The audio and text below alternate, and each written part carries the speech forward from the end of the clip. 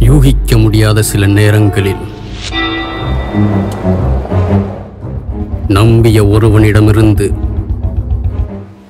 அரக்க குணம் வெளிப்படும் போது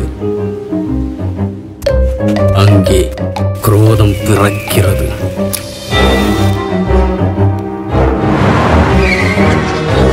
நாலு பேர் பிளான் பண்ணா ஒரு பேங்க் அக்கௌண்ட் பேங்க் பிளான் பண்ணா இப்போ அபராதன்ற பேர்ல நாற்பதாயிரம் பேர்கிட்ட கொள்ளடிக்கலாம்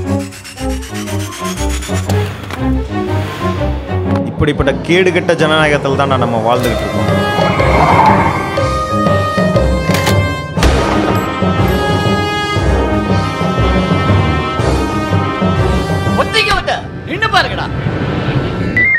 முப்பத்தஞ்சு கிலோ குடலட்டை இந்த ரயில் தான் பதுக்கி வச்சிருக்காங்க.